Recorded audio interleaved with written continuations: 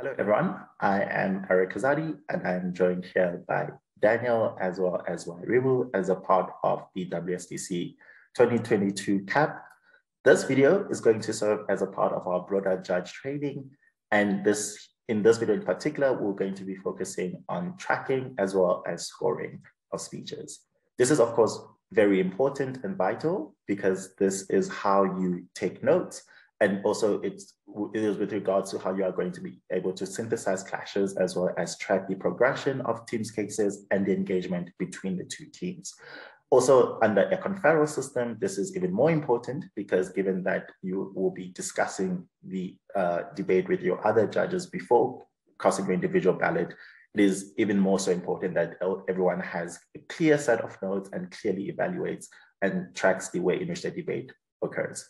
So the way this video would function is we will first start with a brief discussion on why it is important for judges to track WOW, following which we will be watching a debate, i.e. we'll screen uh, share a debate, and after the first two speech exchanges, Daniel would go through their notes as well as synthesize the way in which clashes uh, arose after the first two speeches, or rather the first two first speeches, the, first, the two first speeches on either side, and then evaluate those clashes, who is ahead and why, following which I will do the same for the second speeches. And as a part of this broader discussion, we'll also provide assistance on how to score speeches, uh, uh which is also a vital part of the WSDC process, given that the entire tournament, although it has two different divisions, the speakers tab will be combined. So scoring, so scoring and score calibration is also pretty vital for us. And hopefully this video would assist with that.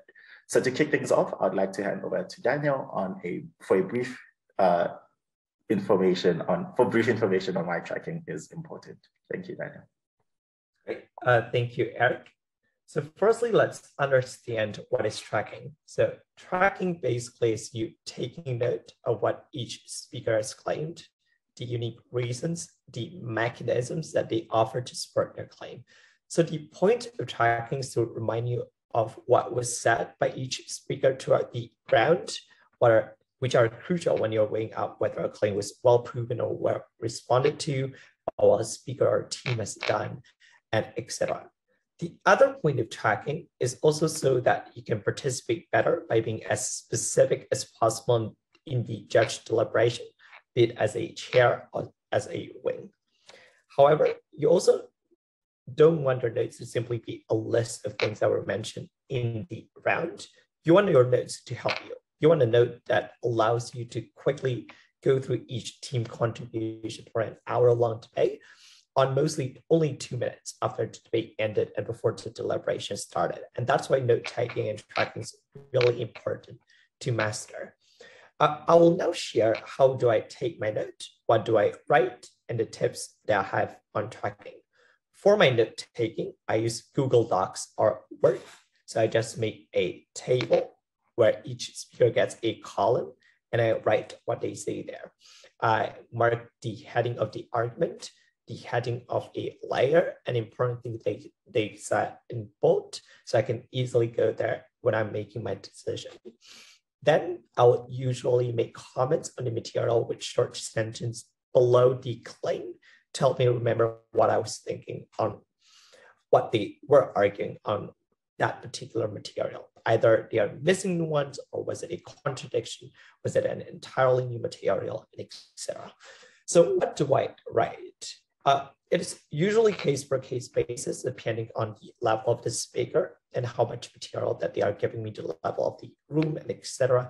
But in general, I write as much as I can. I type word by word, but not necessarily word by word, because uh, my concern about uh, writing down only the big idea is you might miss nuance of the argument that could play a very important role in the verdict later. So I usually avoid that. I usually try to type as much as possible, as much as I can. This is also so that I'm using the speaker's wording as much as possible because different wording can also rescue either under or over crediting a claim. So from my experience, I, I think I have three suggestions that I want to share. Number one is what you potentially should do, either if you're using paper or laptop, is to find a way to highlight the more important part of a speech or a team case. I think the reason is it allows you to access that quicker so you don't have to dive deep into the entire material again. You can highlight this as the speech goes on or by the end of every speech. In addition, you could also make note on the big picture of the debate as the debate is going on. How is it going on? What were your thoughts when you heard a claim? Do you find a point persuasive or not, or any thoughts that might be important later when you're evaluating an argument or in feedback later so you can put them in different color. I usually either highlight this with a different color or put it on italic so I can go back easily on these small points.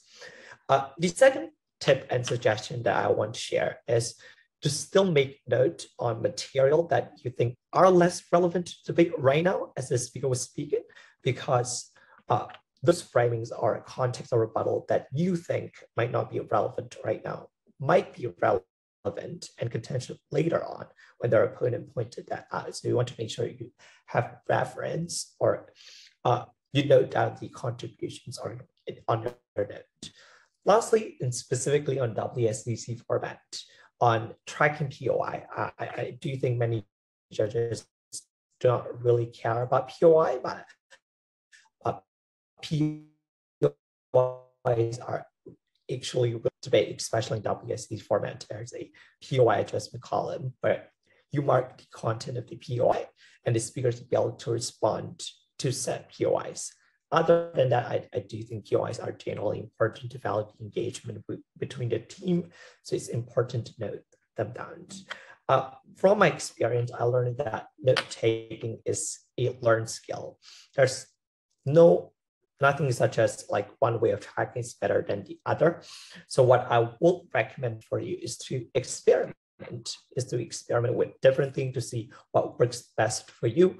I used to write on paper, but I found it less effective later on because I ended up struggling to read my own handwriting because I was noting down material and Russian my handwriting mostly is really small.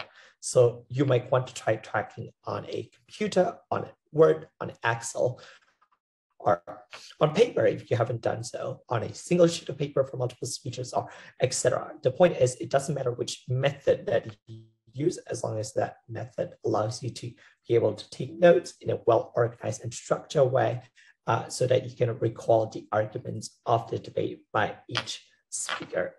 Uh, yep, that is from me on the tips on tracking. I'll pass it to yeah, thank you for that, Daniel. Uh, I do believe that many judges would hopefully find that insightful. And also just as an illustration of that, as mentioned earlier, we will be going through a debate, or at least the first four speeches of the debate. And after each exchange, we will be sharing our notes uh, for you to compare and contrast with your own notes, as well as synthesizing clashes in real time with you through this video. And hopefully you find that to be a very useful mechanism to learn about. So yeah, at this point, I'm going to share my screen with the debate.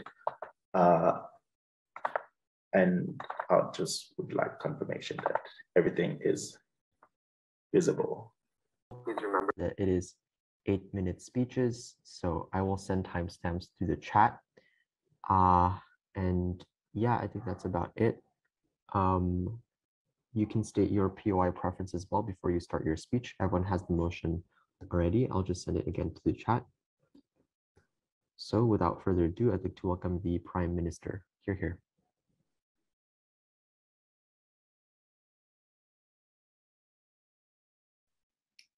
Um, hi, am I audible? Yes, you are. Okay. We regret the narrative that private banks are trying to sell to us just so that they can get more loanable funds to get more profit. That if you're spending money for your own self growth and investment in yourself, you should be scrutinized in society. We say the effect is harsh, especially on low income individuals who are then pressured to save even when they could have been investing in themselves and their future for their families. Two arguments in my speech. First, why this actually gives you more financial stability. I'm gonna flip um, opposition's case right away. And second of all, even if you don't buy the first argument, why this actually gives you more happiness.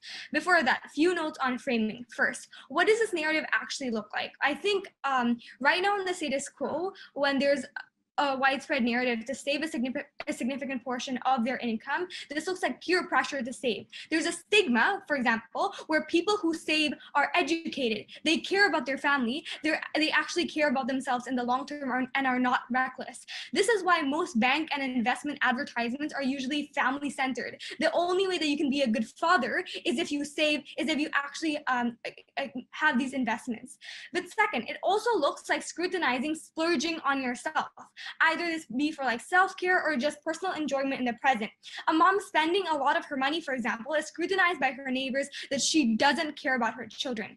But I think on both sides, presumably the rich would be able to have enough money to have like uh, to spend their significant portion of their income and not have any harms in this. That means in this debate, we're actually talking about the marginal individuals, those in low income uh, societies that actually have a choice either to save money or to invest in themselves for long-term growth. We don't don't think on either side people are going to spend their money to the point of bankruptcy though, because like obviously, um, like humans are risk averse. They want to survive to weather against the fluctuations of life. Probably they would um, still be saving, but instead of uh, saving a majority of their income, say 80%, they would be spending like 20 to 30% instead. Other mitigatory mechanisms also already exist in the status quo. So this looks like free healthcare, free education, where governments are able to Is. Tatiana frozen for anyone else? Uh, no. No. No.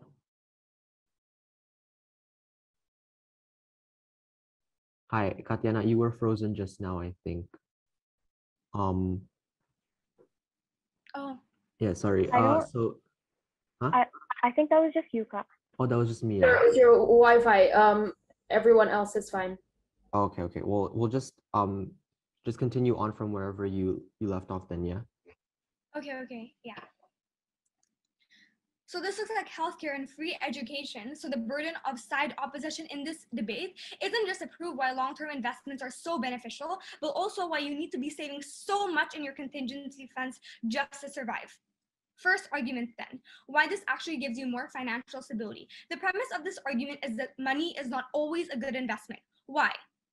Firstly, note that on their side, you're actively encouraging the population to save their money instead of spending it. But this is harmful because money actually depreciates over time.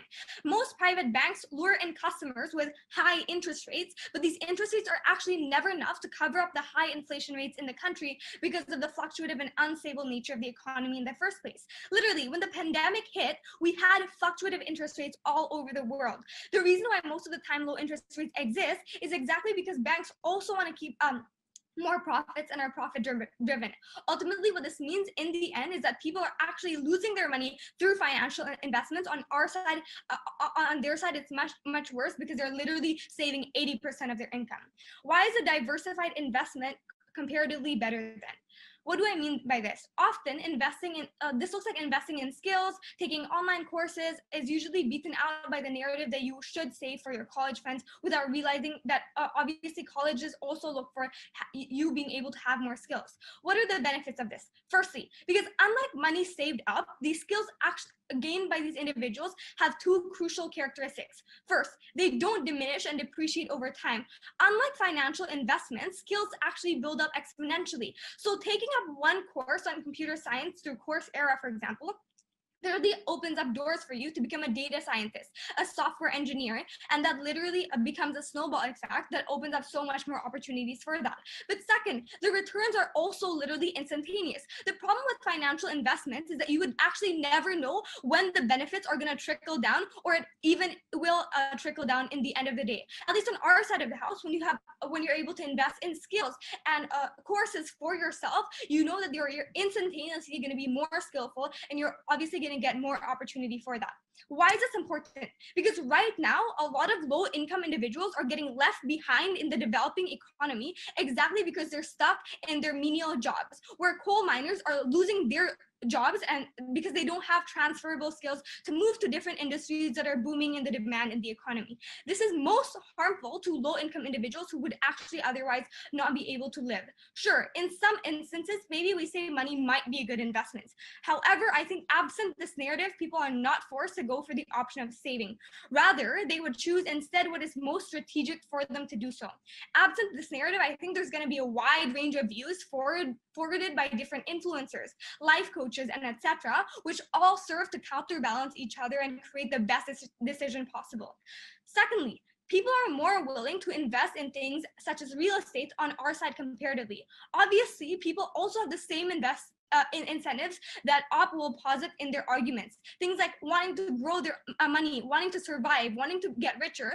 They won't just be spending on luxury items. Probably they're also going to be doing things like buying real estate to start a business. Why? Because there's a capitalist notion in our society that you're never like enough right now, that you should never be content with your financial security, and that you should always strive to become more well off. This is good because at least on our side, there's a potential for that money to grow and create returns. Even though it's risky, at least people are likely to teach each others about the safe way of investing, for example, of how much you should first invest uh, before you move on to more risky investments. Second argument, even if you don't buy our first argument, why on our side of the house you get much more happiness. Several reasons why this is true. First, Spending more money leads to a better quality of life. On our side, you get more disposable income for entertainment, things like spending on traveling, fancy dining, going to movies. On their side, you literally have no money left after your income has been eaten up by all your savings. Actually, before I continue, any POIs? Hi, yes. Can you please be clear with your characterization? Do you think people will spend this money on disposable income like you just said, or will people put this into investing more skills? You can't do both yeah, on our side of the house, you can do both because investing in more skills isn't saving up. Investing into yourself by getting like courses, for example, buying real estate to start a business that isn't saving up in your in your like bank account. That's actually like spending money in the economy continuing on my point then on their side you literally have no money left after your income has been eaten up um, by taxes by savings and etc and this literally has manifested into this capitalistic notion where you can only enjoy your life after retirement. On our side we give individuals the choice to find fulfillment in what way they can. Maybe some people are materialistic so this is completely valid then. They can buy things and make them happy in the short run why is this especially important? Because notice that there is no certainty that you will actually be able to use the money in your savings in the long run.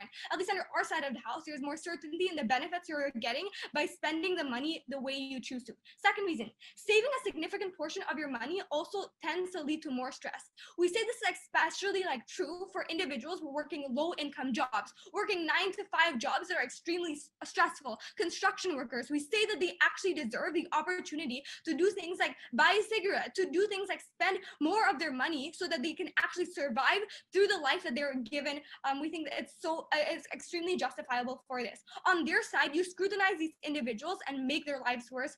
For those reasons, we're so proud to propose.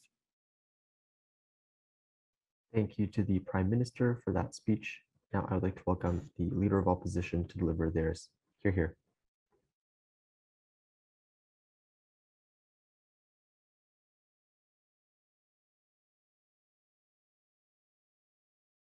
Mm, hi, I'm audible.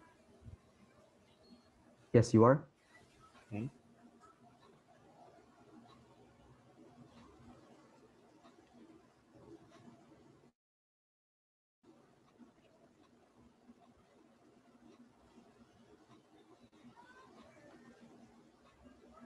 I'm going to start in three, two, one. Ah, before that, POI through uh, just unmute yourself starting in three, two, one.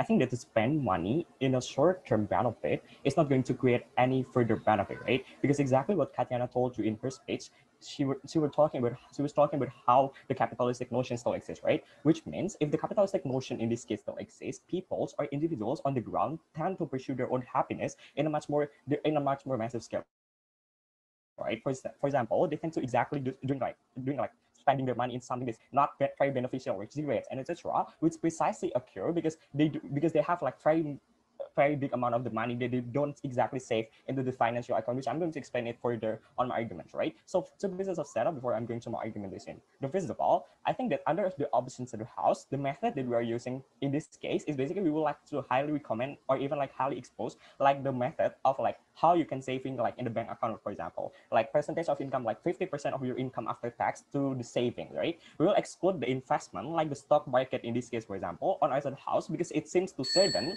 too uncertain for a certain period because the stock market itself is too is too fluctuative, right? But secondly, we think under our house, the main method is to put money in the bank, right? Like you can get five, five uh, like five percent a year back, more like investment on the gold, for instance, to become like to become like make your investment become sustainable under our house. So before that though, I'll just put like one independent rebuttal to the Katiana talking about the social social social societal backlash, right? Three responses to this. Number one, I don't understand why is this true, right? Because it seems impossible when we are talking about a certain method of savings. Of course, it's somehow the nature of saving, like bank account and etc. It's somehow privacy, right? Your neighbors will not know like the amount of money that you're saving in this case. That is why under a house, the judgmental or even like some kind of the narrative or stigma that exists will not going to be occur because we think that every individuals, even like unprivileged individuals, don't know like the amount of money and they, they don't want to compare each other like your amount, like how much you you saving in your bank account, right?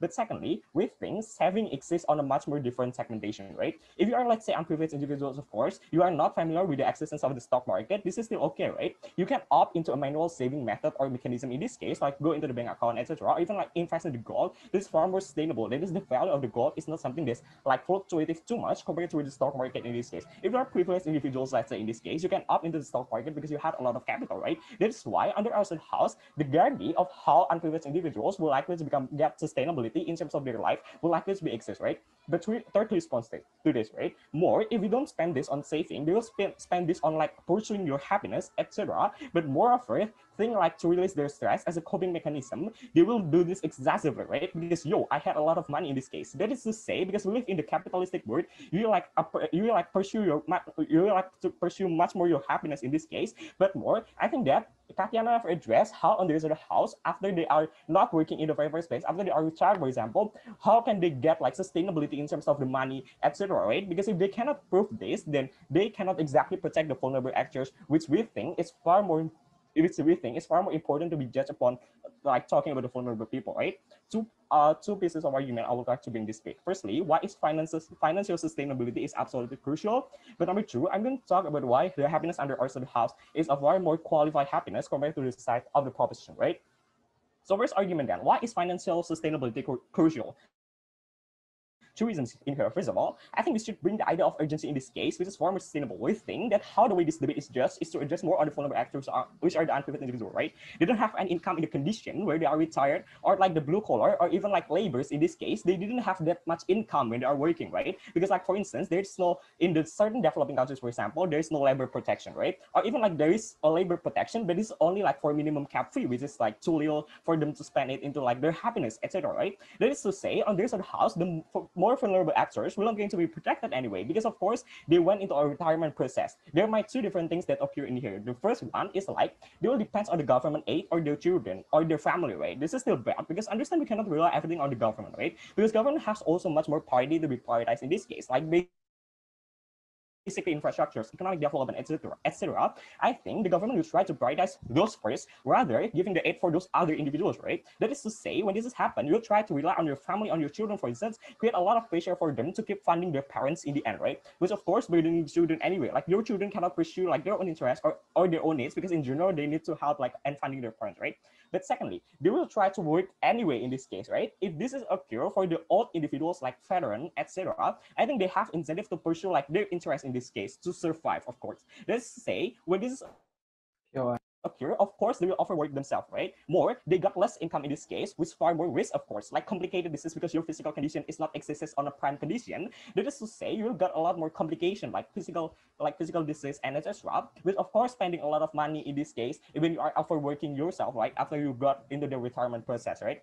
But thirdly, even if you don't buy this argument, uh, no thank you, you got the rationality to not spend that much. I don't understand like why every individual suddenly have this awareness, right? Of course, especially for the unprivileged individuals, they don't know how saving is very worth it, right? It's based on their point of view. How point of view is somehow saved by like your education, etc., right? But moreover, if we as the society or as society keep this narrative or even like as the government keep this narrative as a whole meaning there will be many individuals like especially unprivileged individuals who will opt into this choice right? Saving as an option. That is to say we will be getting much more sustainable after the retirement occur which of course after retirement you don't want to be a burden for everyone like or even like you, your family or even like government etc you want to like achieve internal peace in this case. That is to say when you want to achieve like internal peace in this case you don't want to overwork yourself. You don't want to become a burden for your family to put like much expectation for them in this case, right? But second of all, why is this important, right? Two reasons. Because number one, sustainability of income in this case, meaning the happiness right. after you can achieve, no thank you, after you can achieve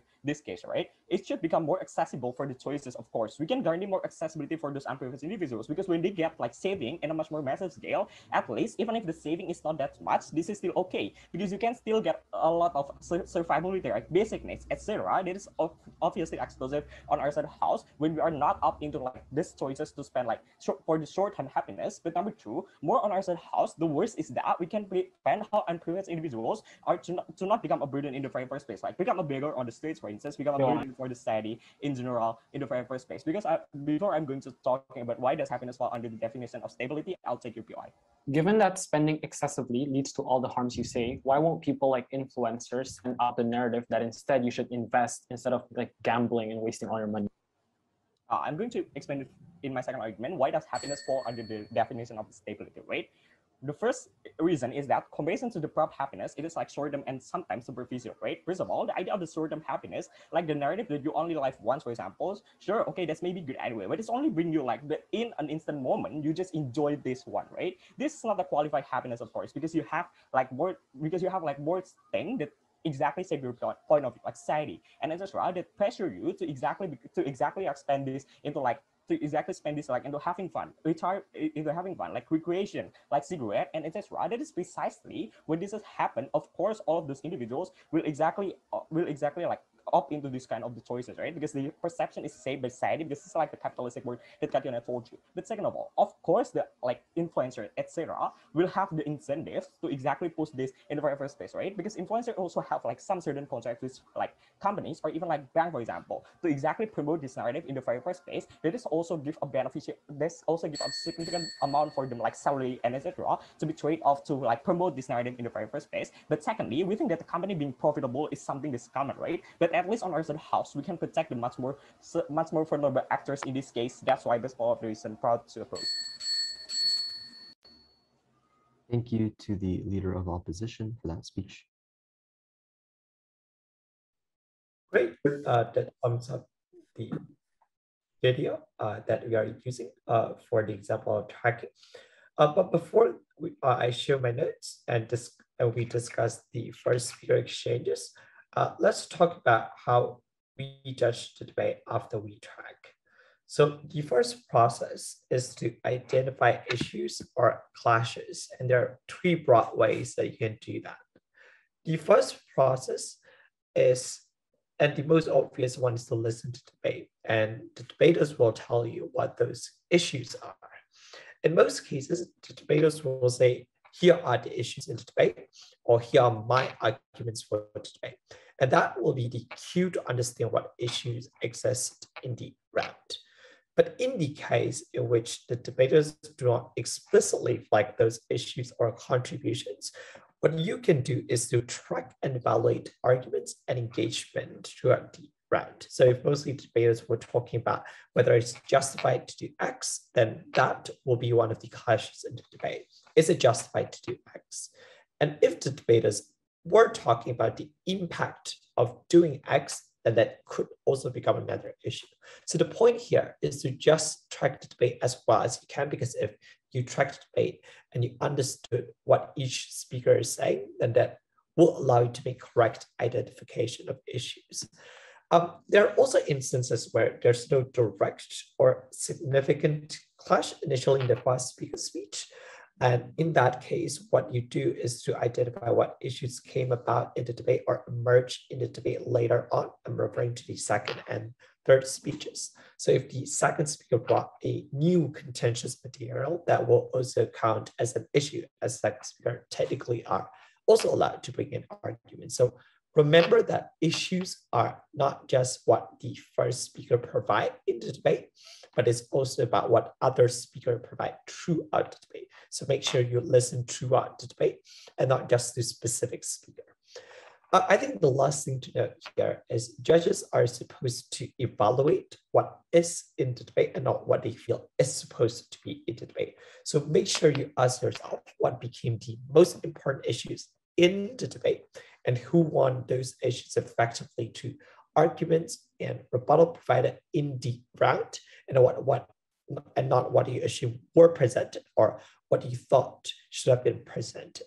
And after you identify those issues, then you weigh the issues because the team who wins might not always be the team who wins the most issues, but the most important issues. Uh, there are four different ways that you can rank issues. The first is to observe what teams explicitly agree as important. So if the first proposition says that it is important to uplift the socio-economic mobility of minorities, and therefore we should uh, uh, support affirmative action as the solution towards it. And then the first opposition says that we agree that we have to protect minority, but I'm offering you this counter model that uplifts minority better. Thus far, can arrive in one conclusion that both teams agree that it's important to uplift minority groups. The question then becomes which side proves that their mechanism work better. So if both teams agree on one issue being more important, the issue ended up becoming the more important issues rather than the other issues in debate. Secondly, if it is unclear on what the teams agree as important, then you should ask yourself what the team implicitly agree as important. So for example, if they talk about the vulnerabilities of minorities a lot, you could imply that both teams agree that protecting minorities is an important issue in the debate because they are so vulnerable. Uh, but if that's still not clear, then weigh the reasons given by the team on why particular issue is more important than the other uh, issues in the round. So for example, if a team says something like practical argument is more important than principle argument because the principle of X is contingent on the practical argument, and there's no sufficient response from the other side challenging this metric, then you can assume that this issue is more important issue because the team has made it explicit that this is the metric that you should judge the debate upon.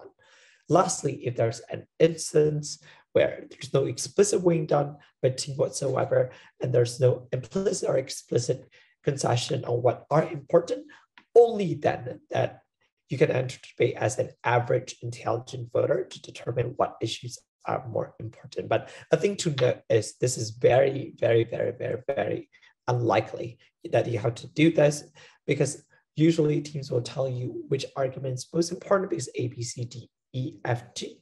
Uh, and then you assess then to what degree that the argument is proven and the importance is proven by them. And then you judge based on that metric. From the video of first and second exchange, so after you track and take note, you come with identification of issues. But before that, I'll show the notes that I took throughout these speeches. Uh, Eric, can you enable participant to share screen? Uh, sorry about that. Yeah, let me do that now.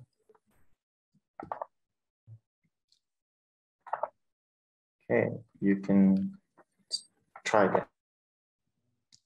Great. Uh, uh, can everyone see my screen now? Yes, it's good. Okay. So this is the note that I took throughout these speeches. Um, so I use a very simple note-taking process. So I take note via Google Docs. I just make a table where each speaker got one column. So I, I told you in the beginning of the session that I have the tendency to type as much as I can because I am afraid of losing nuance or I just want to use as much as similar as wording that the speaker uses. So what I did was highlight the main part like the main part of the arguments, the assertion, the framing, and the heading of the layer, such as like framing, what does this narrative look like? Argument one, financial stability. The first layer was about money is not a good investment. Second layer was about why is diversified investment, investing in skill and online courses better. And other than that, I just bolt down the important mechanisms in the speeches. For example, I will bolt down the first mechanism that people are not going to spend recklessly because people are risk averse, uh, or something that's important. For example, when Prop was pushing the burden to opt to prove that you have to save so much in contingency fund just to survive for op benefit to run. But also things like link back impacting, will note which part of the speech are we on? And then, uh, for example, like this, the mechanisms and the link back, the link back was like uh, the other counterfactual was to let individual choose what is strategic for them to do and some other mechanisms like wide range of views forwarded by different influencer life coaches that counterbalance each other to help individual make the best decision possible.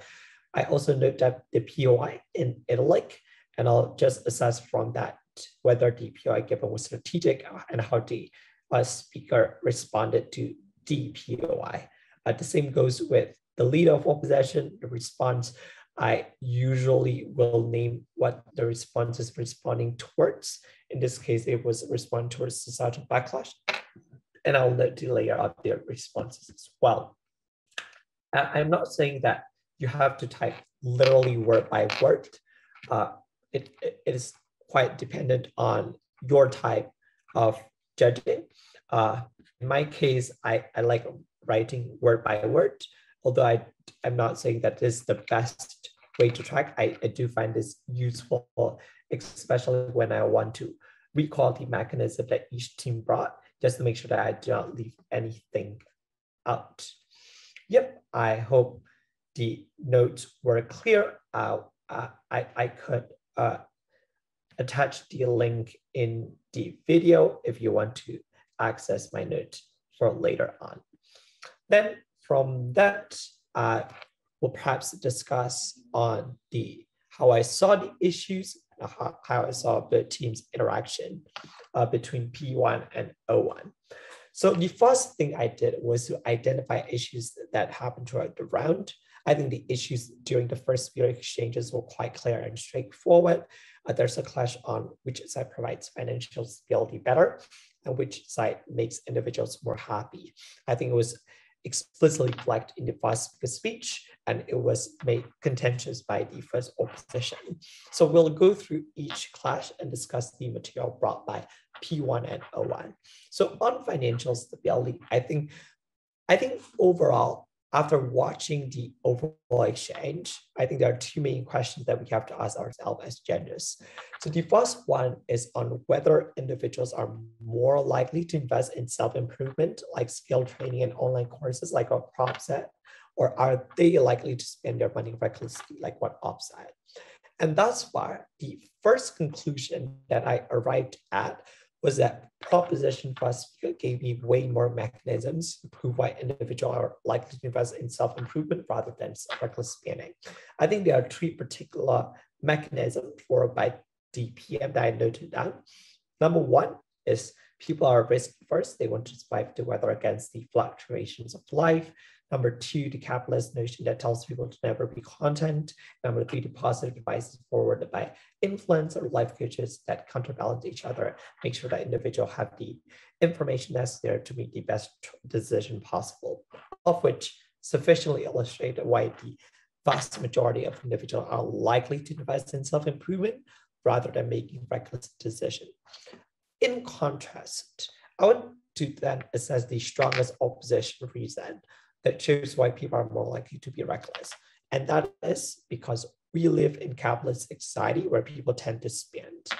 So my first observation on this exchange was that opposition response didn't negate proposition claim and framing. And that is because proposition was not trying to prove that people will not spend any of their money on entertainment at all. What proposition was framing and was trying to prove is that people are likely to spend the majority of their money on self-improvement absent this narrative, and it still can go hand in hand with spending some few portion of their money in entertainment. And this also resolved the POI given by opposition.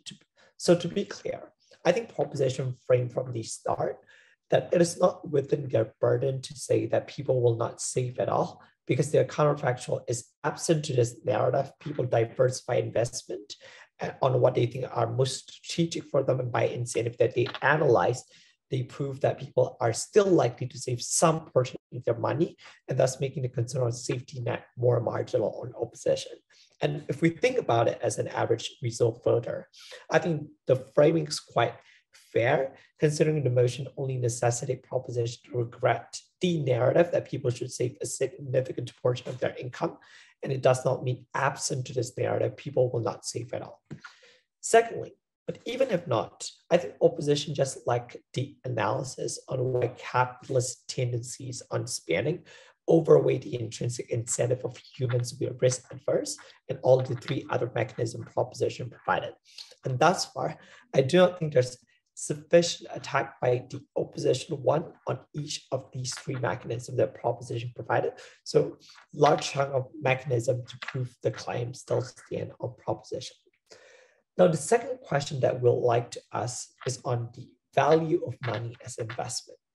I think PM from the start had illustrated that money depreciates over time. There are high inflation rates because of the fluctuation and unstable nature of economy, etc.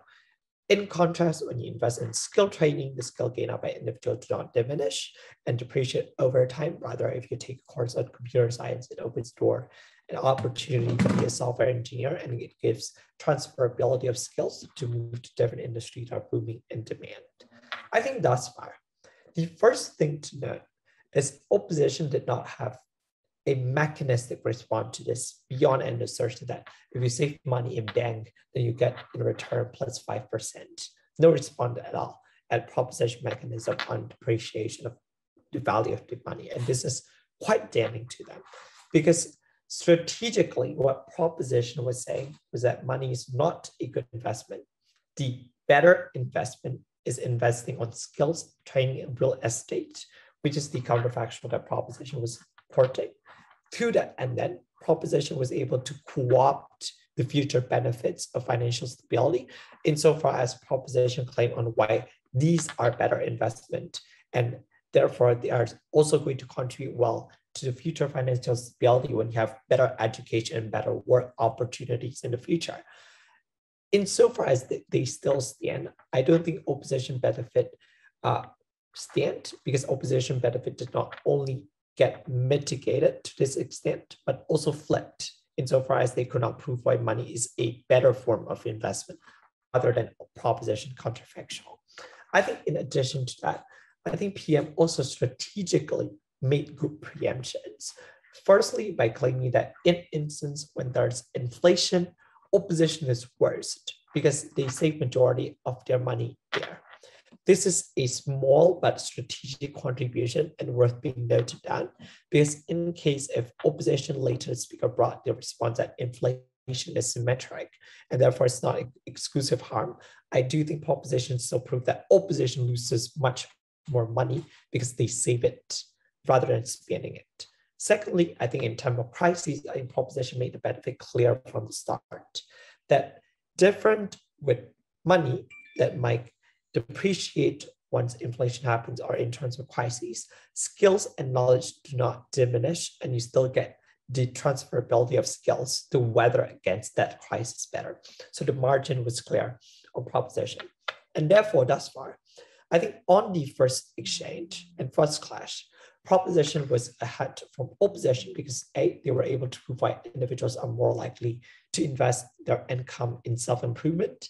Also B, they also prove and show why investment will result in better financial security in the long run, as opposed to money that appreciate in value over time, flipping opposition claim on financial security. Then the second class I want to talk about is on happiness. And I think the first thing to probably observe is that on opposition framing uh, that says that there will be no social backlash because saving is private. Uh, I think that framing is right, is fair, but if you evaluate the impact of that framing to the overall debate and case, you'll realize that this particular framing undercut the benefit of opposition as well, because opposition benefits technically can only be enforced by societal backlash. Because if opposition characterization of humans being reckless inherently is true, then it's unclear why absent the backlash, people will want to save rather than spend. So mitigation does not work for me. In contrast, I think the claim from Proposition 1 was clear that the narrative increases the quality of life by individual, especially for a lower income worker, such as construction worker, because now they cannot buy cigarettes without being scrutinized and pressured first by society to save. The second thing to outline here is opposition did not negate proposition benefit on the happiness, on having more disposable income allocated for entertainment. The only response was it is short term. And we ought to care for long term because when you're old, you cannot rely on government and your children, and that's why you have to have safety income. I think thus far there are several observations to be made. One, because proposition says that people are still going to save absent to this narrative, I think opposition benefit became in- inclusive insofar as they do not provide long-term stability or require a huge amount of saving instead of just saving some portion of our income being saved. I think this was specifically pointed out as the burden pushed by PM to LO. Secondly, even if not, I think PM did preempt this by saying that there has a mitigatory mechanism in status quo, such as free education, healthcare, and government program. I think the leader opposition did contend that you cannot rely on government because they have many areas to focus at, infrastructure and etc. I think the problem with this claim was it was relatively asserted why government cannot focus on both and why it's mutually exclusive. But I also am willing to agree that there was also lack of analysis by proposition thus far. So we might need more information down the bench to resolve this particular observation. But most importantly, I think the problem with opposition also is that there's very little weighing beyond the assertion that it is short term to prove why being happy in short term is really that bad. I think proposition, on the other hand, does a pretty clear job at weighing that says that there's no certainty that they can use money in the, saving in the long run, and there's more certainty on spending and investing. And therefore, even if it's for short-term happiness, it's worth better in terms of certainty on whether you can use money or not. Yep. Uh, that concludes my observation and how I saw the issues in the round and how I uh, thought that proposition was thus far ahead from opposition in the first speaker exchanges. Now I'm going to pass the floor to Eric to explain on the second speaker exchanges. Thank you so much for that, Daniel. Uh, very thorough and comprehensive. So similarly, we will now play the second exchanges, after which I will point out my observations, as well as track the progression of the clashes in the round. Um, and worth noting here that I do agree broadly with Daniel's uh, clashes as well as the assessment of those clashes, and we will see how that progresses after the second speeches. Okay, I shall resume sharing. I'll assume it's still visible and audible. So. Now I would like to welcome the Deputy Prime Minister to deliver theirs. Here, here.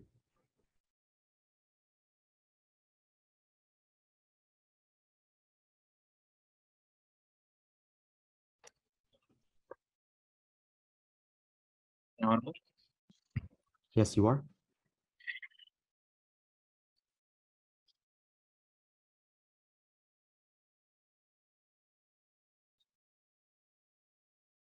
speech will start in three, two, one.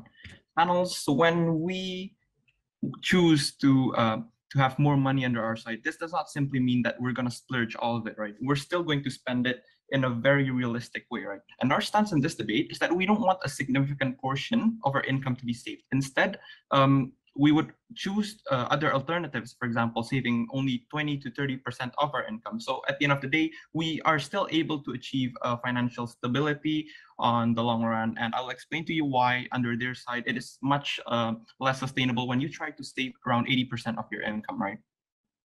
Now, one rebuttal towards opposition side the opposition side told you that bank is the best way to save your money and etc. But we say that this is not enough, right? So my first speaker already gave you a preemptive on why bank is not enough. And like, for example, there are things such as um, inflation and don't buy their case about 5% uh, interest because this is not enough, right? Because a majority of the people still are unable to fulfill their basic needs.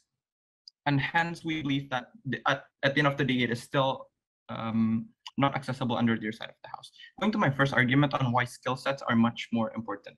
Now, panels in the first uh, in the 21st century, things such as degrees wouldn't matter as much anymore because a majority of the people that have graduated from universities would opt into other kinds of jobs, right? With this reason, we believe that you need additional skill sets. You need uh, linguistic skills. You need new um, skill sets that can be achieved from uh, learning courses and um, investing your money into getting these courses, right? Two reasons for this. First of all, the job market is more competitive. Not only that it is more competitive, right. but yeah, okay. Uh, not only that it is more competitive, but there are actually more diverse job market at the moment.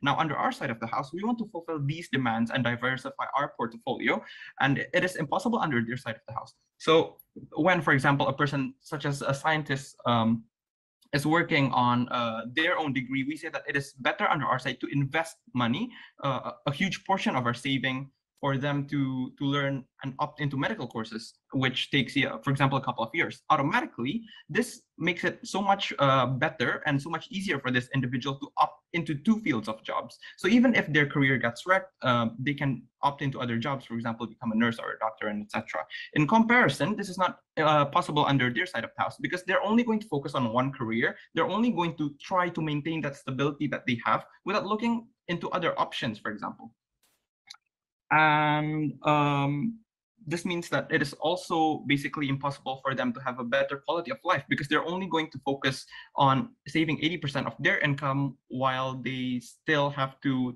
struggle and fulfill things such as rent, bills, food, and uh, etc. Second reason on why more competition means that you need to uh, increase your quality of skill sets panels, we believe that even if you want to pursue a job within the same uh, degrees that you already have, this is much harder to do, right? Because especially for minorities and lower class working people, such as my, uh, such as what my first uh, speaker have told you, for these kinds of people, they have to opt into much lower quality universities, for example, right? Uh, and at the end of the day, they have to compete with other kinds of universities that already has a huge name, for example, Harvard. And we say that under our side, investing directly into the economy or like investing into yourself is much better because you have you have um, something that you you can use to compete against these kinds of uh, privileged people. Going to my second argument on how basic necessities for lower class and middle class can be fulfilled better under our side. Panels, what you need to understand is that this um, this narrative can only be realistically achievable when you put it into higher working class people or a portion of the middle class working people, right? Because first of all, let's look at the first class and middle class working people. These kinds of people, let's, uh, for example, the first class people, they have businesses, they have investments, they don't have to struggle at all. And, and at the end of the day, all of their materialistic needs are already fulfilled. Secondly, on middle class, uh, middle class working or middle working class people, we can assume that these people have stable income and their wages are actually average, right? For example, in Indonesia, these people have um, fulfilled their UMR, uh, but even this is not enough under their side of the house because they still have to sacrifice things such as happiness, entertainment, and etc. So opposition side has to explain to us why sacrificing short-term happiness, better food, better quality of life is better. Uh, it is okay under their side in comparison um, in comparison to under our side where we can achieve that and also achieve, for example, financial stability. Going to my first layer on why middle class is less sustainable panels, as a middle working class citizen, you need to pay bills, rent, food, necessities, and etc. These would literally cost a lot already, right? But not only that, keep in mind that the middle cl uh, class working citizen, you also have to uh, you you also have other priorities such as paying loans, house loans, apartments, car loans, and etc. Hence, it is nearly impossible for you to save up 80% of your money, and even if they uh, they want to do so, they would be pressured, such as what my first speaker have told you, and they have to cut off um, excess spendings on food, right? For example, when uh, you have more money, you can opt into healthier foods. Whereas under their side of the house, if you if you want to um, jump into this narrative as a lower working class citizen, you have to opt into you have to um, live a lifestyle that is way more unhealthy. For example, eating instant food for the sake of reaching that, uh, for the sake of saving money. Second, on why it is impossible for working class people. Opposition side talks to you about how they want uh, the lower working class people uh, to save up money and focus on retirement, right? Because they say that uh, retirement is like uh, will guarantee you happiness. But we say that it is not urgent for lower working class people to focus on retirement because this is not the first thing that comes into their mind when when it comes to money. What what comes to their mind is that they want a short-term financial security on, for example, how are how they're able to afford their next meal, how are they able to pay their gas and etc. And on top of that, lower working class people have the hardest kinds of jobs, right? Because they have to, for example, physically put their body on the line when they build houses and like, um, uh, yeah, just basically uh, blue collar kind of jobs where they have to physically put their uh, uh, body on the line. Hence, we say that giving them access to more entertainment is actually better because they, uh, at least under their side, they won't be as much stressed Going to my last argument on why happiness is better achieved under our side. So my first speaker already told you that there's no certainty when it comes to happiness after you've been retired, right? But we say, uh, first layer is that we say that short-term happiness is much better and can only be achieved under our side, right? Not only short-term happiness, but happiness in general. What you get under government side is that people, uh, people have the freedom to allocate their funds, for example, spend money on traveling, drinks, fine dining, going out, and etc. On the contrary, opposition side uh, gives you alternatives such as um, try uh, having ha happiness or the narrative of happiness on the old age. But we say that this is not effective because you can only get happiness once you already grow old, right? But we say that under our side, what what we want to prioritize is that we want to prioritize happiness when you have when you are still on your prime age, when you're still on your 20 years old, when you're still youthful and you're actually physically capable to enjoy things such as sports, or like expensive sports hobbies, uh, traveling around the world, and etc. And we say that there it is simply not possible under, under their side of the house when they're already old and it is harder for them to opt into um, happiness. That's all for me. Thank you. Thank you to the DPM for that speech. Now I would like to welcome the DLO to deliver theirs. Here, here. Hi, am I audible and visible? Yep, both. Okay, thanks. Uh, I'll take verbal POIs.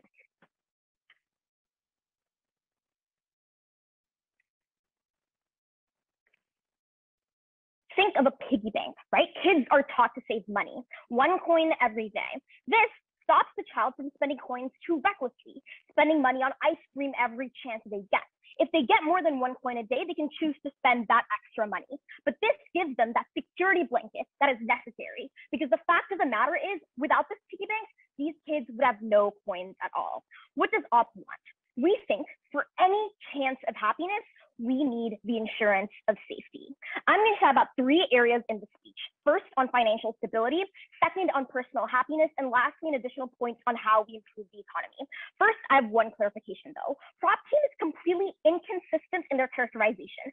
Self-improvement versus reckless spending is this tightrope they keep on pulling, right? We think if you claim people will be responsible with the way they spend their disposable income, people will be responsible enough to have enough money for their literally basic necessities necessities on our side. We think they'll have enough money for groceries, that they'll have enough money for rent. It is absolutely ludicrous that the characterization that DPM wants to push is one of people being completely responsible on their side while completely reckless on our side. That is completely unfair and we do not stand for that. First clash then on financial stability. First, I want to talk about this point that the first brought up about societal backlash. Note that this was dropped by the second because they realized how ridiculous this point is. First, it's not true at all, right? Your neighbor doesn't know what your bank account looks like. There's no guarantee that other people will know what you're doing with your savings and what you're doing with the money. Even if you do get this backlash, though, which they don't explain why it's possible, who cares? The mom probably has bigger problems on her hands than what her neighbor thinks of her. She probably has to think of what she has to feed her kids, how to bring her kids to school, right? It's not a big urgency in this case. The bigger urgency here is financial stability. So with that point awash, first layer on financial stability. What will people actually spend their money on? Prop claims these middle to low income people will use money on their side for things like self-improvement. Their only logical reasoning to prove this is that there's a capitalistic notion where people never feel good about themselves and want to be better. Panel, they completely misunderstand this concept. The capitalistic machine is literally what makes them want to spend money on bags and luxury items. That is literally the point of this machine to give money back to corporations.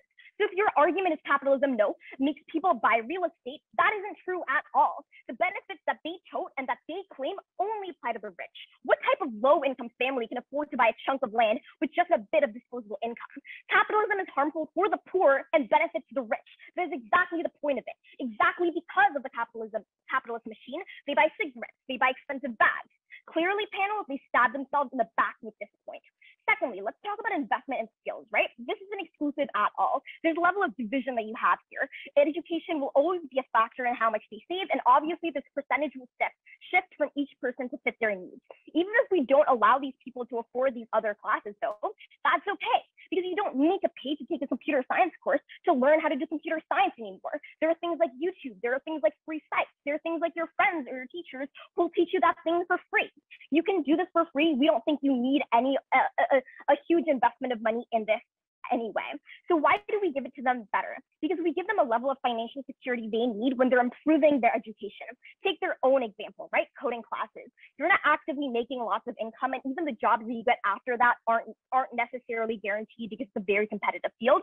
So you need the buffer of financial security exactly because you don't have that financial security when you're being educated. So comparatively, panel on this class, what we give is clearly more financial stability. And even in the case of future development, we give them that necessary security security blanket. Second point, though, on happiness, and this is a big positive case that they try to push that we think doesn't stand tall. Let's take it down step by step.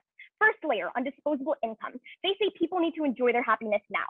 No, there are other ways to find happiness. There's family, there's relationships, there's ways you can spend time with your kids. There's so many other ways to spend to gain happiness. You don't actually need to spend money and buy things to be happy.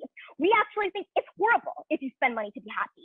Even if they do get that happiness, it is absolutely short term. And this is what my first speaker said, right? It's a boost of serotonin and something that you get addicted to. That's why people buy cigarettes. That's why people get addicted to online shopping and then have to go to therapy, right? Why is our happiness better? Because it's not superficial. It is based on things that are actually giving them meaningful happiness, like family and relationships, instead of people just spending money to gain back things that they feel like they didn't have as a child. They say, second here, that you don't need to save money for retirement because it's uncertain. Wrong.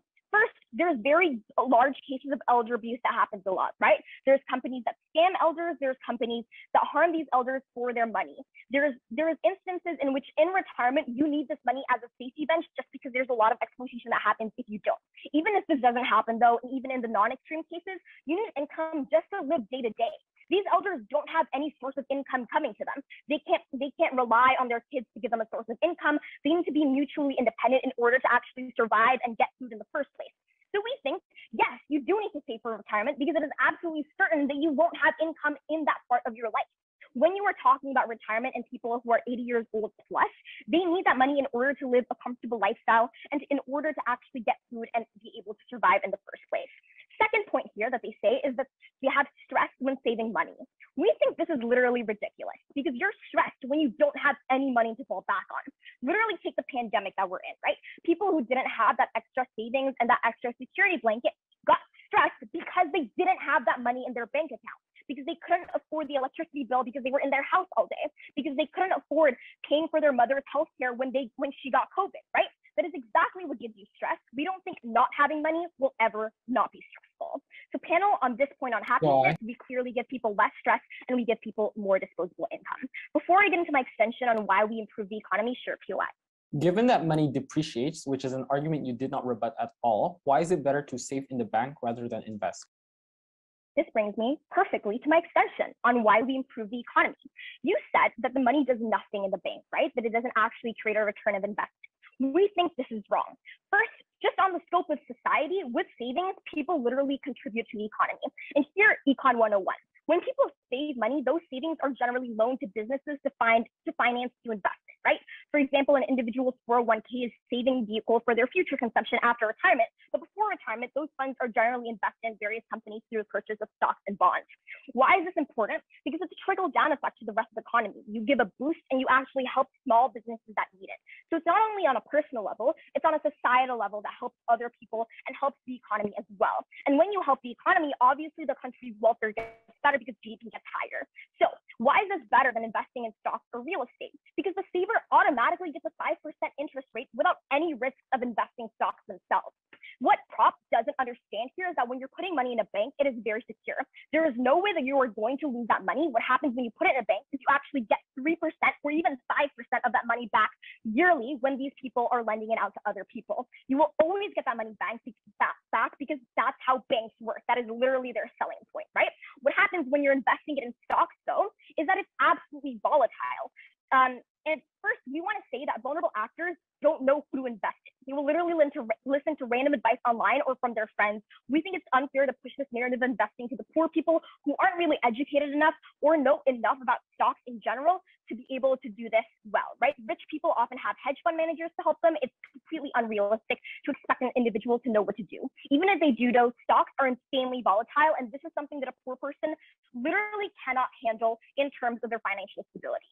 By telling people to get rid of their piggy banks, you are you are ruining their financial stability.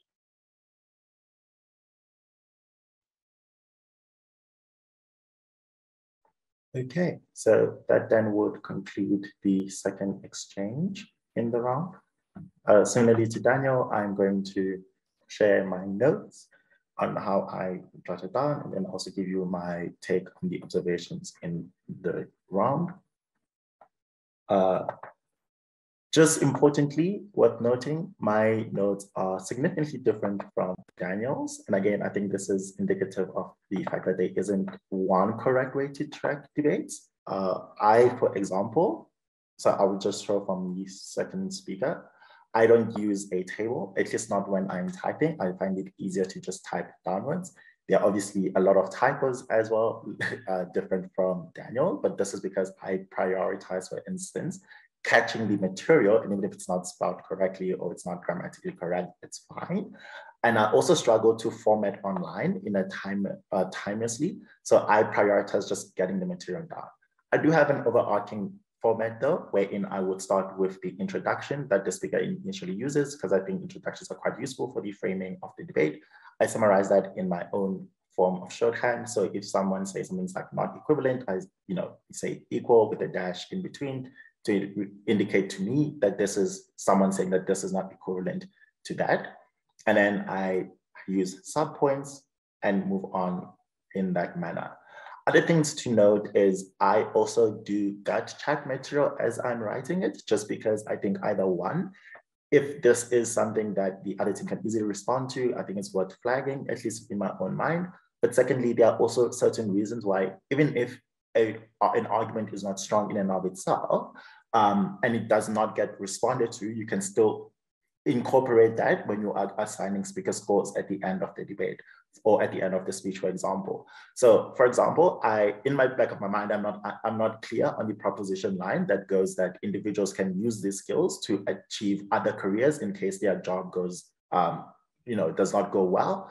And so for me, I, in those instances, I will put in brackets right next to the claim, a note for myself along with a question mark. So I'm unclear as to how they, on proposition, there's perfect labor mobility, wherein if you are studying science, you can become a doctor if your science career does not work out, for instance. And I think this is something that needs to be more mechanized a bit more. This is perfectly fine and permissible because you are judging as the average informed voter average informed voters do not just believe everything uncompromising or unquestioningly, you are able to interrogate certain things. Of course, this does not factor into which side wins the debate. It's uh, like in and of itself, it's just a way for me to note for myself what are some of the things that I found questionable within the round and some of the things that I think make this de determine the quality of the speech. Uh, and the final thing to note with regards to my uh, notes is I do also at the end just give an overarching like bracket that I would score the speech at. So do I think this is a above average speech, a below average speech?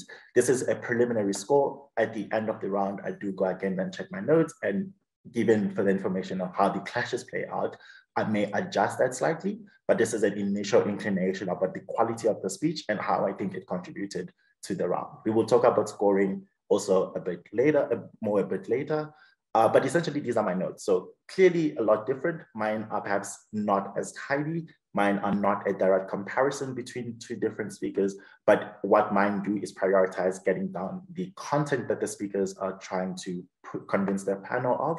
And given that I personally would struggle to format in real time, I prioritize just getting that down, even if it's not the most tidy. Again, each individual has their own, uh, sorry, note-taking style, and there's something that you do grow through um, trial and error, which you should definitely be experimenting with. Okay, uh, and now with the assessment of the clashes and how the round progresses, I think this is a very good debate for this kind of exercise because I think it illustrates shifts in momentum and how cases can change in the debate or can evolve to become stronger. So I would agree, as Daniel pointed out, that of the first exchange, the proposition was probably ahead on both questions. Firstly, on what is the nature of this expenditure going to look like in the counterfactual, so i.e. without this narrative. And secondly, on the question of on which side are minorities or just individuals and their happiness maximized. I do think in the second speech or in the second exchange, momentum shifts a lot more towards the opposition. And I want to note for three distinct reasons. One, I think there's a lack of progression of the pre-existing material on the proposition bench. I find the P2 to be largely repetitive of the material that already existed in the P1 without necessarily either A, providing explicitly different like contributions and progressions, or two, trying to at least tell me as a judge why I should weigh this argument more, or why I should weigh the material mechanisms that they provide in the argument more. The second thing is I'd also note there is a relatively less amount of responses on the P2 to the O1 than there is to the from the O2 to the entire of the proposition team.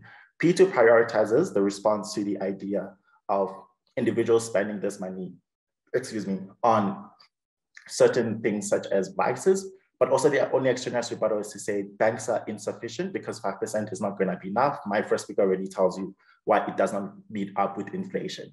This extraneous rebuttal, although there is further like integration, integrated responses within his own, within the speaker's own speech, I still think this is insufficient, just given the amount of doubt that is at least caused by the first opposition speaker. I would have appreciated a lot more responsive work, but also think they prioritize the least contentious aspect of the opposition case to deal with.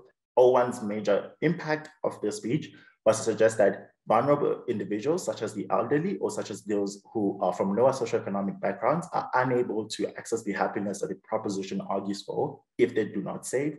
P2 instead responds to the minor mechanism on the opposition, at least after O1, to suggest that the 5% interest rates does not keep up with inflationary pressure in a manner that is quite repetitive of the P1 already.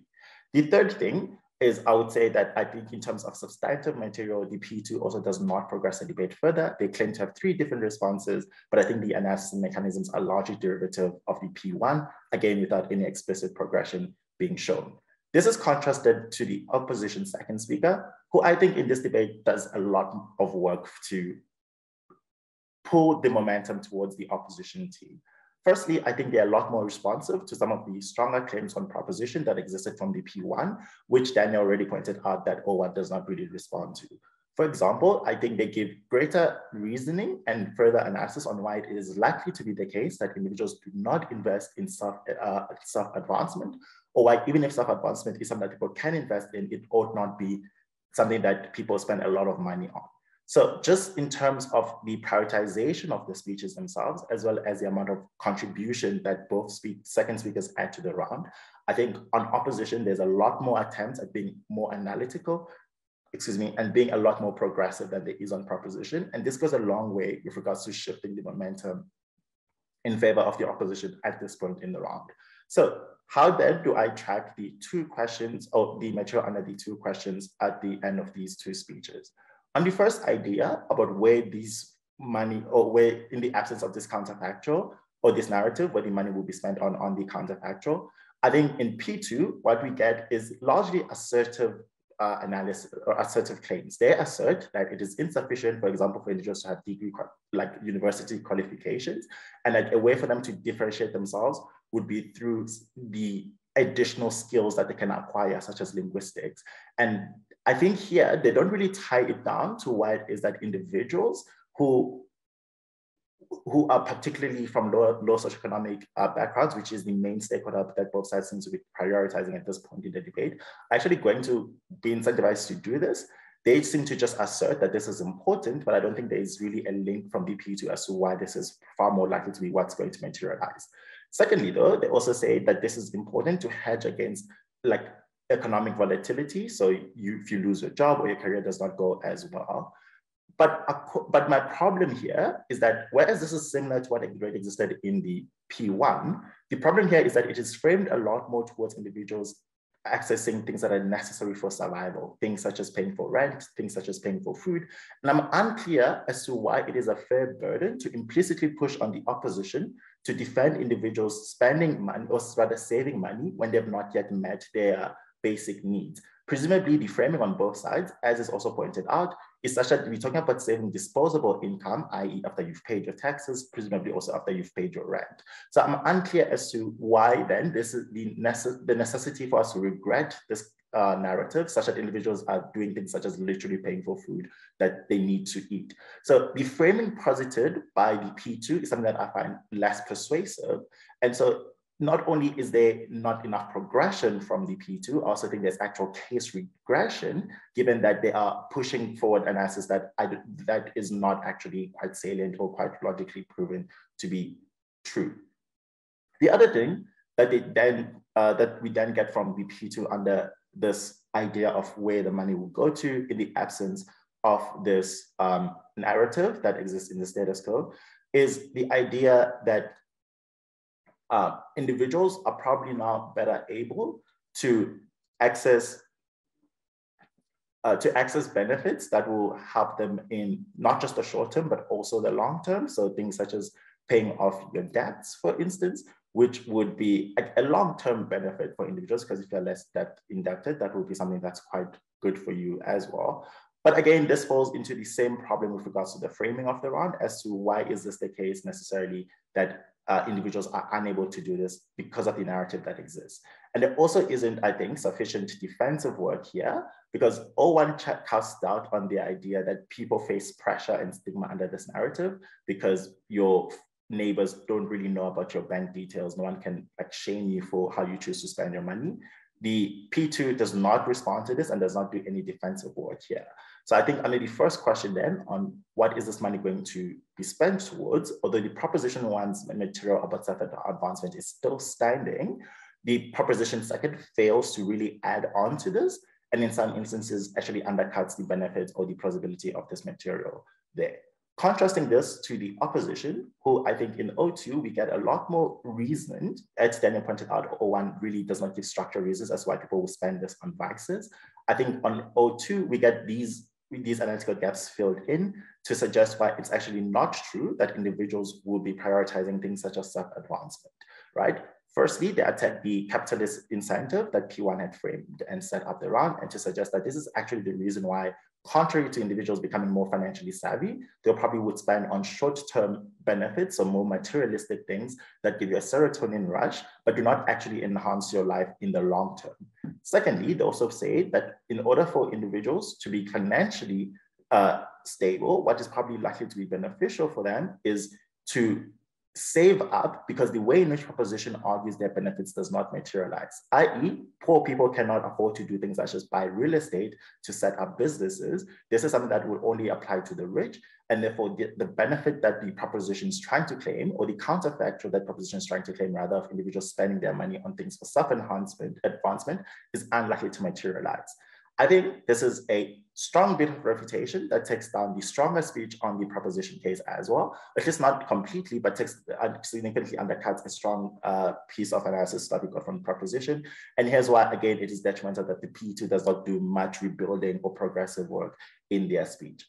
On the third thing that I think the opposition two is able to do is also add nuance as what a significant portion of savings is and points out that it's unlikely to be this hard and fast amount, but rather it can shift based on individuals' income and based on what they need. But the, what remains salient is that individuals should be able to perhaps save and prioritize some sort of future financial stability.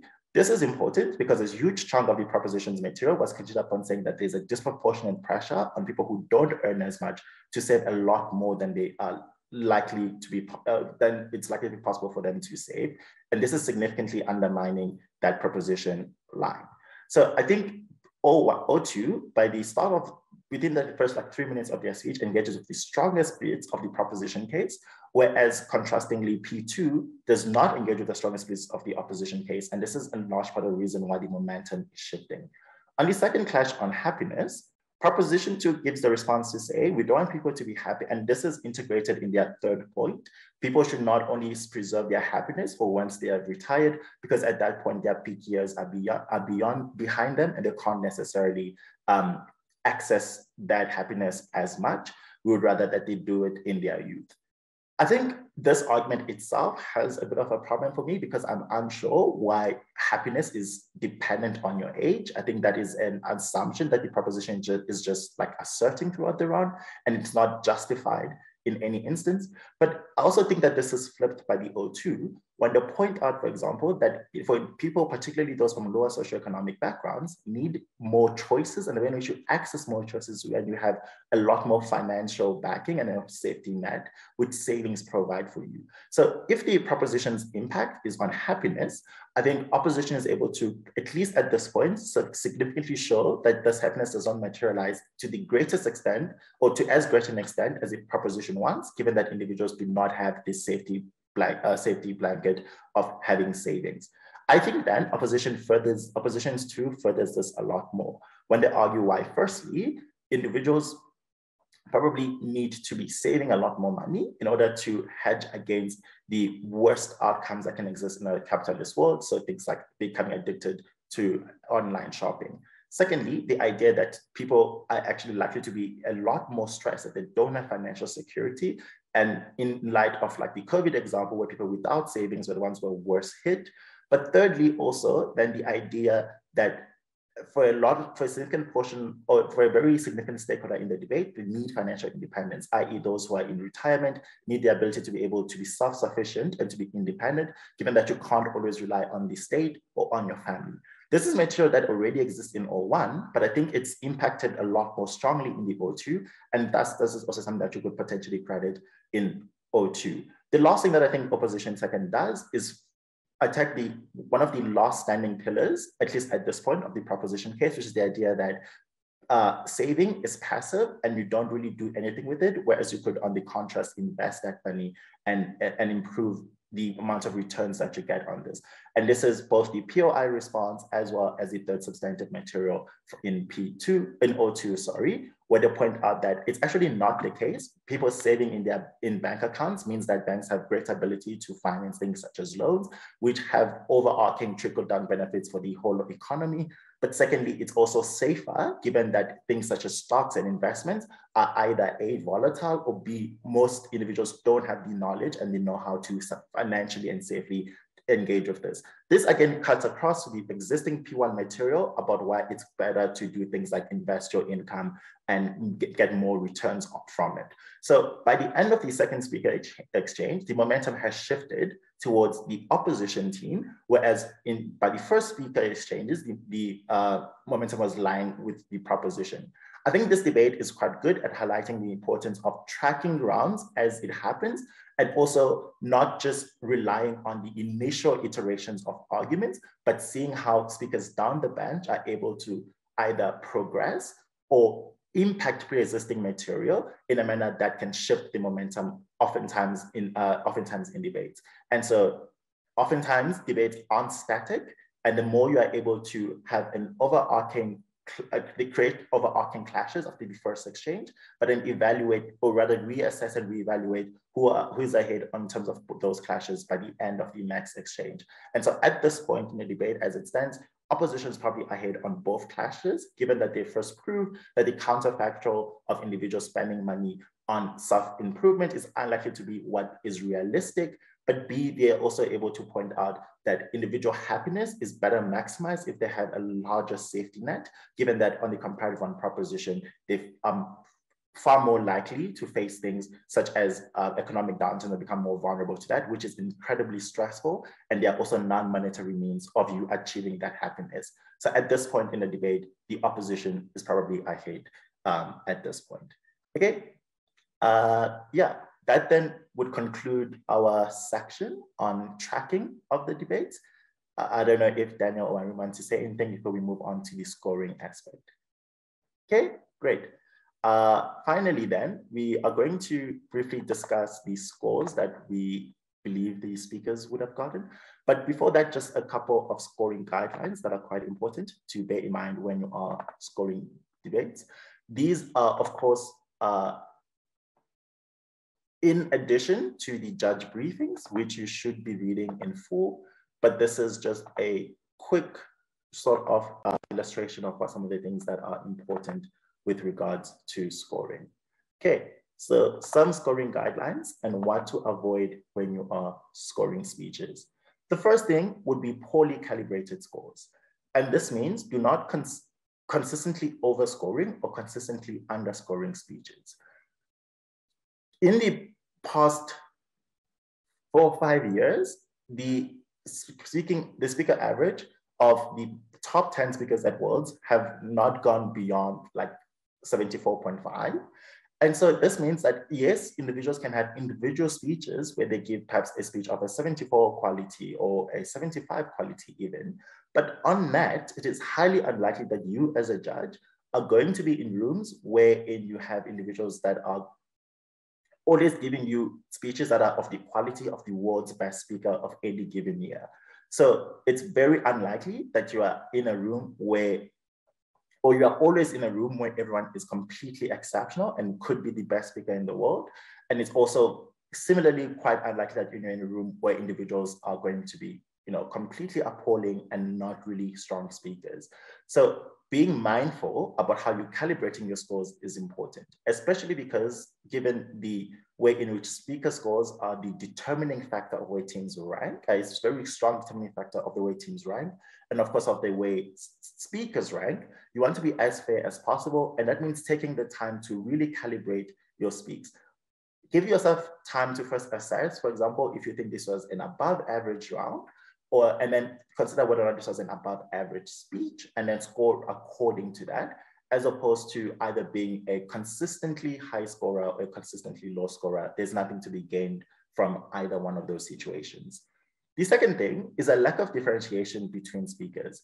So it is highly unlikely that down the bench or down a team, that all, speaker, all speakers will score the same. So even if they give speeches that are similar in quality, it is oftentimes possible to distinguish between what contributes the most to a debate and to the eventual core of the debate.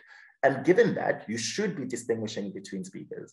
WSDC allows for half points, for example. So even if you think both speech, all the speeches from the proposition bench were above average and quite good, there are ways in which you can be above average to different extents. So you could give a 71.5, a 72, and a 72.5 accounting for those variations between the speakers is something that you should be doing and is something that again increases the fairness and the accuracy of your scores. The third thing to avoid is a lack of correlation between substantive speech scores and reply speech scores. By this, it's to say that given that the reply speech is given by either the first prop or the sec, uh, sorry, the first or the second speaker on either side, it's highly unlikely that the same speaker within the same debate can give you a below average speed and an exceptional speed. So this would look like an instance where perhaps this is a bit extreme, but someone could score a 69 for their P, P2 speed, but then is given a 37 for their reply speech.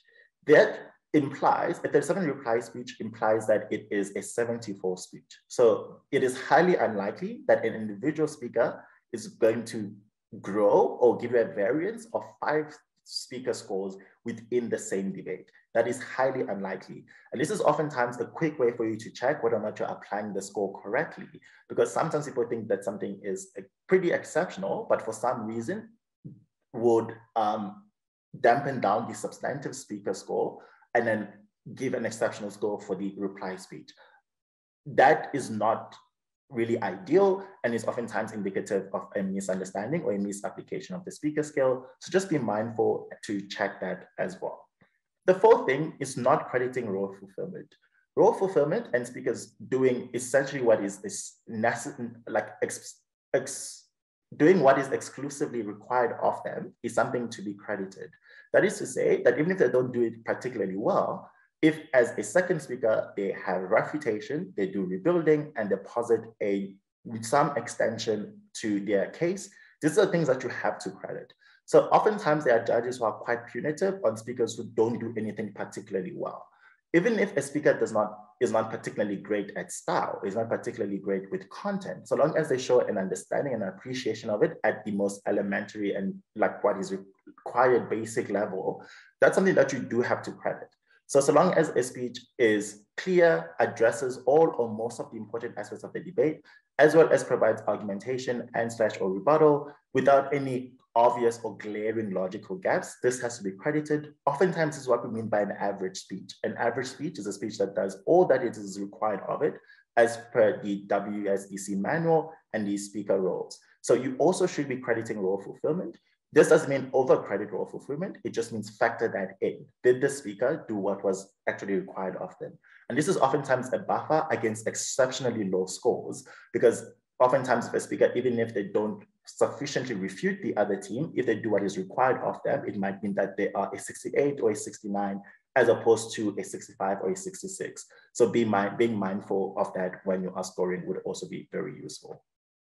And so just some quick checks that you can go through. The first one, uh, simple checks, ask yourself, what would an average score in sound like in a debate speech? And then move up and down according to who you believe was below or above average. To score reply speeches, assess it like a regular speech and then divide that score by two. This would also prevent the lack of co uh, correlation between a substantive speech and a reply speech do use half marks. Half marks are allowed as the lowest fraction, and you can give half a point, especially to differentiate between speakers down the bench. And then after telling the scores, the total score of the winning team must be higher than the score of the losing team. You can't have low point wins. And if this is happening, it means you need to reassess what's happening. Again, from our Confero judge training, we spoke about how scores are a mathematical representation of what you believe to happen in the round. So what you believe happened in the round comes first. You first decide on your winner and then you assign scores after that. Okay, and then lastly, just to be mindful about your margins. So how close did you think the debate was? And this would also help you calibrate your scores. If you think it was a difference of, if you think it was a very close debate, you'll probably have a difference of uh, like 0.5 to two speaker points. Close but clear, you would have three to five speaker scores one team is clearly better, but they're not necessarily dominating. You can have between five to 10 speaker scores. If you have a domination of one team, then you'd have things be margins of like 10 to 20. Anything beyond that, it was clearly an unfair matchup and also very unlikely to occur, especially with the use of power pairing. Your margins are quite unlikely to be as um, drastic, especially as the tournament progresses. So these are all things to consider. Of course, a lot of it and a lot of scoring is subjective, but so long as you are informed and you are logically applying the speaker scale, it should be good, at least for the most part. And it means that the speaks that you do give are an accurate and fair reflection for the integrity of the tournament. And so it's very important for us that you do score adequately. Okay, uh, and so to conclude this video, we'll have a brief discussion on our speaker scores for the four speeches that we saw, as well as a brief reason as to why those would be the cases. Okay, uh, I can go first and share my speaker scores as well as brief reason, reasonings for why. So for the P1, I would give a 72. I think the speech was on, on overall above average. The speaker was able to utilize style as well quite effectively at certain points, and I was able to show a good appreciation for strategy, i.e. by framing out certain aspects, talking about how symmetrically on either side, for example, wealthy people are the ones who probably benefit the most from this narrative. And as such, it's something that needs or be regretted, sets up a clear counterfactual, and is quite engaging and preemptive of a lot of the things that come out. I do think there are some issues with their analysis. For example, the labor mobility issue, I think still exists even in the P1 speech because I'm unclear as to why these online courses are enough to compensate for a whole career or university degree. But overall, I don't think it's damaging or it's too damaging to the speech. And I do think this was a solid speech and I'll give it a 72. For the O1, I would give a 71 perhaps. I think is able to identify the important issues in the debate and does cast some doubt on certain things, but not quite as strong as the, P, as the P1 with regards to their use of um, with regards to their use of strategy, for example, so they misprioritize what I think are the most important things to respond to from the proposition. And they also don't really weigh material. And as a responsive speaker, I do think you have a bit of a burden to show why your responses are important when you are dealing with another team. So don't just say stuff, but actually explain the, the relevance and the severity it has for the case that the other team ran. For the P2, I would give a 70. I think that was an average speech, showed a good understanding of role fulfillment, and what and did attempt to uh, flip some of the impact of some of the material that we got from the opposition one. I don't think this was necessarily done quite successfully. I also did additionally have problems with the structure of the speech, i.e. when they tried to integrate responses at certain points, it was not flagged as such. And so despite the extraneous rebuttal at the top of their speech, which I believe was also a misprioritization of the important issues, beyond that within the internal speech itself, it's quite hard to flow. But I do think there are sufficient attempts at responding and also at progressing the case, even though I don't fully buy it. So I credit it mostly on a role fulfillment aspect and an awareness of what is required in the debate. And thus I would score that as 70. For the opposition second, I would score somewhere between a 72.5 to a 73 uh, just because I think a lot of good, strong responses come out and they're also strategically aware of what are the most important parts from the proposition case to refute, while simultaneously rebuilding their own material, for example, but why it is likely that individuals fall into the consumption of vices as opposed to investing that money wisely. And lastly, also gives an independent uh, part to victory in terms of their substantive material, which I think is quite a strong piece of substantive as well, which is impacted on two levels with regards to benefiting the like overarching economy, but second with regards to benefiting the individual. So that's how I would score the speeches at this point with opposition slightly ahead at by the end of the first two speeches. Okay, uh, Daniel, if you want to share your scores, please. Thank you, Eric. Uh, so I agree with a lot that Eric had said about the scoring. Uh, for me, I think for P1, I score P1 slightly higher, which is 72.5, so 0.5 point higher. I think P1 was generally an above average speech, uh, stylistically very clear. I think what was really good at P1 is the strategy, as in they put a lot of preemptive, a lot of really strategic burden pushing, like what is within the burden of proposition proof and what is within the burden of opposition to proof. I think in terms of content, I, I do see really well elaborated mechanisms as well. Uh, but I do agree that some material were quite jumpy and I pick on the same material. Like uh, there's this specific line that if you take a, a computer science course in Coursera, you can be a software engineer. I think the process was a bit jumpy. I think definitely could have been better, but I think overall was a, really good speech. I think uh, there's a lot of preemptions that strategically tackle opposition potential case. I also do think uh, the mechanism were well explained. Uh, for O1, I was slightly a bit harsh. Uh, so uh, I, I scored a 170, uh, so 0.5 point lower. I do think O1 was uh, stylistically less effective in the sense that there were a lot of repetitions. Uh, I do think the strategy was the one that made the point quite low for me.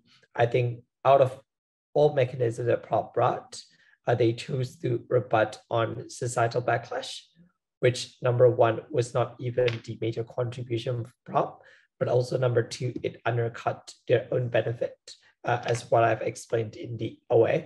So I, I ju just thought the strategy was a bit poor here. I also do think in terms of content, they didn't really elaborate on a lot of assertions. For example, like they just asserted that short-term happiness is bad without telling me why, without weighing why long-term happiness is more important. So basically they just said long-term happiness is important because you need safety net and happiness is falling upon the definition of stability, but there's no reason why also like the reason why people recklessly spend, they only assert one reason, which is capitalistic notion makes people tend to spend. I don't think there's any other illustration rather than that in comparison to what we have got from the P1. Uh, for the P2, I score slightly higher, which is 70.5, so 0.5 point higher. I think I agree. I think the style was a bit bad uh, because I think uh, there were no like focal variation to really emphasize which part is important or not. Uh, so I think in most cases, the important material might have been underlooked. I think content wise, I think I agree with Eric.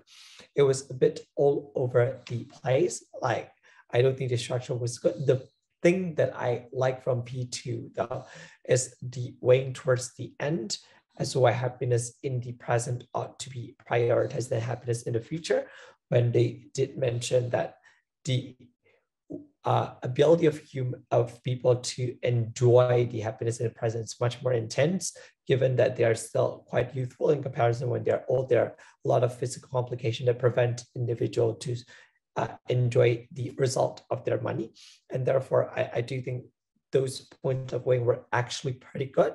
It was not stylistically convincing, but and also like instruction was a bit all over the place. And that's why I think uh, 70.5. Lastly, on O2, I agree with Eric. I think it was a really good speech. I scored it as 72.5 until 73 as well. So the same with Eric. I think stylistically very convincing. Content-wise, I think they did fill a lot of holes left by opposition one. I do think they also rebutted a lot of things that could have been rebutted since O1 to the P1 and P2 speech. I also do think extension was a bit smart. So I like O2 and I do think it was an above average speech as well. Uh, yep, that's from me.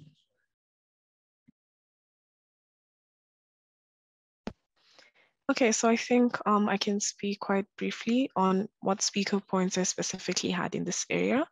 So, um, and just to avoid repetition, for prop one, I had, yeah, sorry, I had prop one at 71.5, which I think is slightly higher than Daniel and um, maybe within the range of um, Eric. So I thought that it was a really good speech so yeah, sorry, actually slightly lower than Daniel. So I thought that this was a really good speech. I thought that one, they were able to first, uh, again, do a lot of like preemptive engagement. I think they did well in establishing like the main clashes because I think throughout the debate, you note that um, some of the stances that are noted by P1 generally are the most engaged within the debate, right? Telling us about why this is something that's generally going to have like more stability and more happiness. I think I wasn't necessarily I mean, I mean, I think in terms of not necessarily having um, that high of a speaker score, even though I think a lot of these arguments are like really well explained and nuanced, I think Prop 1 could have done a bit more in terms of impacting this specifically to how this is most likely going to affect um, individuals, because I think they don't necessarily fully engage.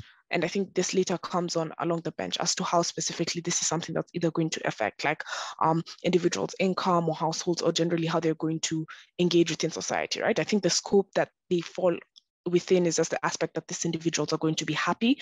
And so I don't necessarily see what impact this happiness is going to, and, and, and hence they don't necessarily fully impact um, what exactly this happiness looks like. And I think even though they have like a lot of strategic arguments on the, uh, I mean, a lot of strategic arguments on the elements of like stability and happiness, I think more impacts could could have could have accrued specifically coming in from P1. Um, up op one, I, I gave op one a 71. I think they had a good speech, but I think as um, the two other judge, the two other members have, have talked about. Um, one, it was not necessarily as strategic in terms of the issues that they engaged with. I think specifically talking about like societal backlash and there stronger arguments specifically on like happiness and stability. And I think even a lot of claims of why specifically investing in money, right, is something that's not necessarily the the best form of like outcome, right? I don't necessarily think we get the strongest form of engagement from the strongest form of engagement or like the strongest issues coming in from prop one from op one i think also specifically when it comes to um, fully developing a lot of ideas right? So i don't necessarily think prop op one was able to um, develop a lot of like uh, develop a lot of the ideas that generally came about right? And i think you'll see this for example when they say how um so, yeah sorry i think you'll see this for example when they said that um individuals are generally like there's going to be like limited income and, and there's sort of like going to be a trade-off, right? And they talk about how to a certain extent you shouldn't you or how on why to a certain extent like disposable income is something that should be limited and the yeah sorry disposable income is um something that should be limited and in this case invested in something that's like more in, invested in something that's like more sustainable, right?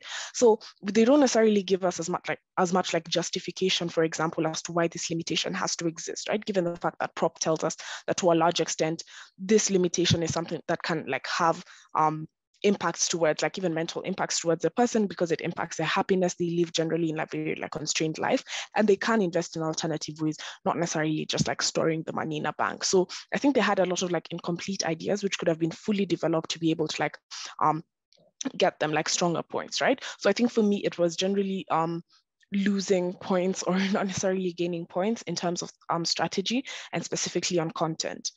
Um, when it comes to prop two, sorry, I had prop two at 70.5 and I had, um, yeah, sorry, yeah, prop two at 70.5.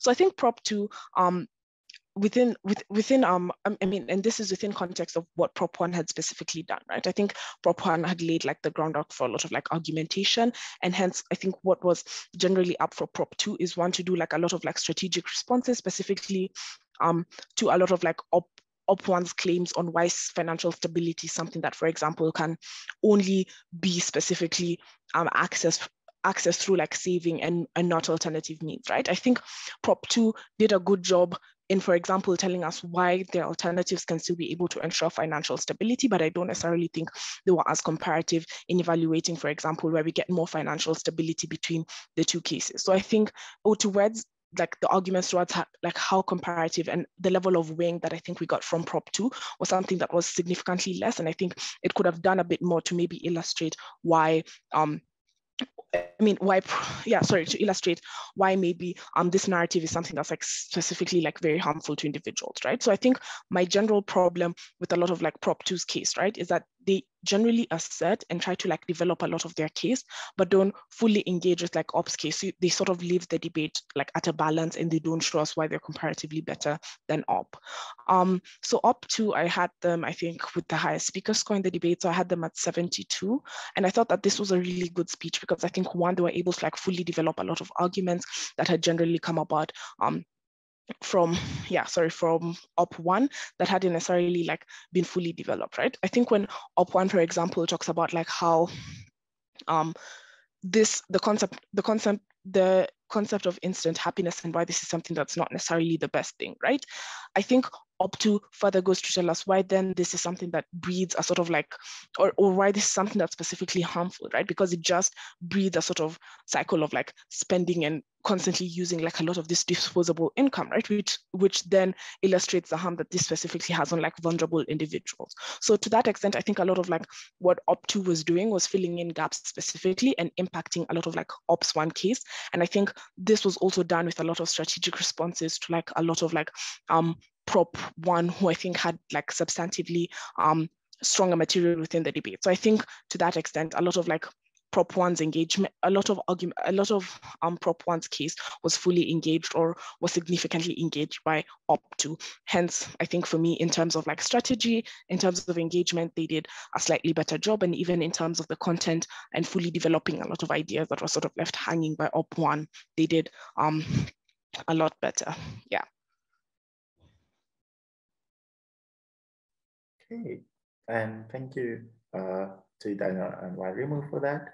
Uh, hopefully this video is useful and insightful to all judges with regards to how to track responses, the importance of synthesizing clashes at the end of every exchange and reevaluating them as the debate progresses, such that you are not trying to arrive at your initial call only at the end, but you are given the information, or rather you're assessing the information that you already have throughout, and lastly, also with regards to scoring calibration, um, all three members of the CAP here do have largely within the same range of scores, and the reasoning is broadly the same. Of course, there is some variance wherein subjectively people would credit certain things more or punish certain things more, but overall it is more or less within the same bracket and the assessment of these features are largely consistent. Of course, this is for this debate. In other debates, this might not be the case. But overall, the idea is that when you are scoring, you are considering the quality of the round, the quality of the individual speeches, and also the contribution that each individual is making to the debate in favor of their side. Yeah, at this point, we will conclude the video. So feel free to reach out to us if you have any questions or anything which is unclear from this video. But thank you all. And I do hope watching you do watch this and it is useful for you. And yeah, Thank you for judging at WSDC as well. See you all in a few weeks.